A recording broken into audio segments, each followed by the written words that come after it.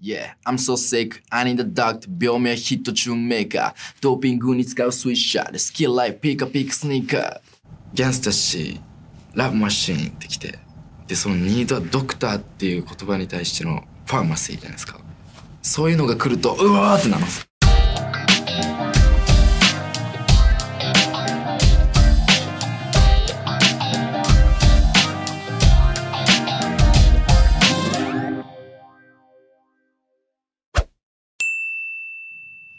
Hot and cold, yeah. I'm so hot and cold, yeah.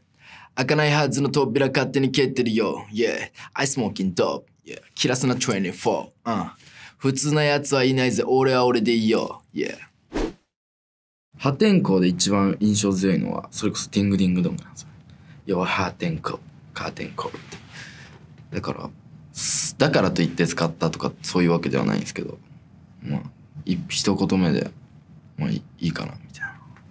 破天荒やし。何が破天荒なんですかね。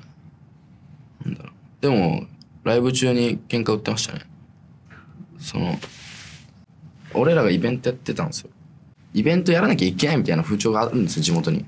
で、学生もやらなきゃいけなくて。で、自分学生の時に売ってたんですけど、それめちゃめちゃ高山で一番入ってたイベントなんですけど、それやってる時とかに、なんかその、ソファーがあるんですよね、ビップみたいな。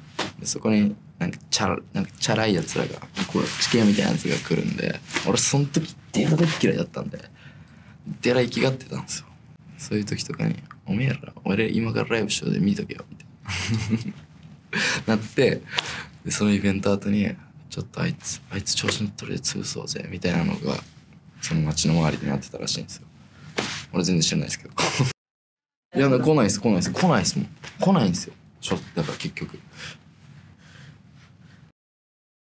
えっとね。普通にまあ誰にも誰でも開けれる扉じゃないまず。俺らが俺がやることしてるのそれを勝手に蹴ってる。別に。なんか蹴ってるとかでも勝手に蹴ってるみたいな。でバーン開くみたいな。そんな感じの意味ですねそこは。そうですね。ここはもうストレートにあのー、4小節目なんでまあパンチラインパンチラインっていうかまあ素直に入ってくるリリックを持ってきてまあそのままっすね。普通のやつはいないんで俺は俺でいいよ。